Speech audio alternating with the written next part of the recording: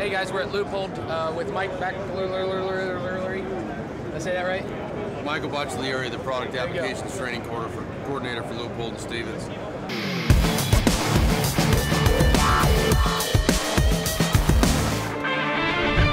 What we're coming out with this year for 2015 is the D-EVO, the dual enhanced view optic, and essentially what it is, is it's it's a periscope turned sideways, so there's a mirrored system in there that goes around whatever red dot system you have on the on the gun. So basically we built it non-proprietary for our LCO. This is our Leupold Combat our Carbine optic, but uh, this can work in conjunction with any pre-existing red dot on the market. So if you have an Aimpoint EOTech, whatever you're running, uh, you can grab this and augment your system instead of having to rethink it.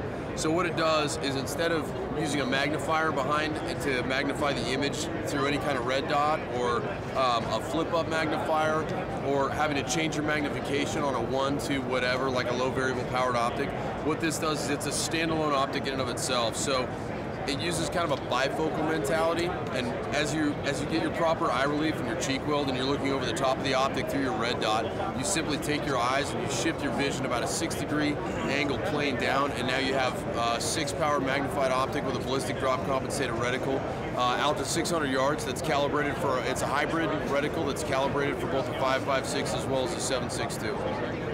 Cool. Yeah, I got to play with it a little bit yesterday. It's crazy uh, when if you get your cheek weld right. And I know it's, there's a little bit of learning curve, but when, once you get it down, and get your cheek weld right, you can actually see both reticles, the red dot and, and uh, magnified, and it just depends on which one you focus on. You really have to move your eye. Yeah, they co-witness Really cool. completely. And so, so some things to think about when you first get behind the D-EVO and you're first mounted up and getting your eye relief down there is that your, your normal eye relief is going to be a little bit tighter on this and a little bit different due to the fact that you're on, on a, any standard scope, your ocular lens is vertical. On this, it's angled, right, so that you can look down into it. So that closes up your eye box a little bit, okay? And then the other thing that's really hard to get over is when you're mounted, just like most of us normally would, with kind of a like our hammer with the DeltaPoint on top, or maybe the Trijicon with the RMR up top, is not one to gooseneck up.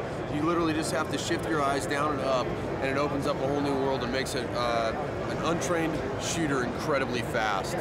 And then you guys fixed the, uh, okay, not fixed by any means, but uh, took into consideration the issue about the optic being off to the right side of the barrel. So you guys did something with your reticle in there to, to counteract because your windage is the farther out you go is going to be off. Well, it's not. It's yes. There's a 1.5 inch offset with this, right? And uh, so it's it's not the windage, but it creates windage Right. on your on your basically your line of sight and your bullet flight uh, intersection that, that's created there because.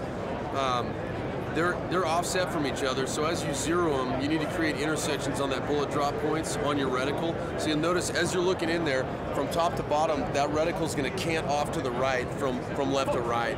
And what that's doing is, as that triangle, that intersection just gets elongated farther and farther out, that reticle's got to be offset even more. And so that's already compensated into the reticle. A lot of people, as soon as we got them on it, they thought they had a broken prototype model. You know, they're going, "Hey, something's going on with this reticle." And it's like, no, it's all by design. Yeah, it's all that's right. It's all been predetermined points. That's so. cool. They really thought about uh, just about everything with this system. It's really cool. Make sure you check it out.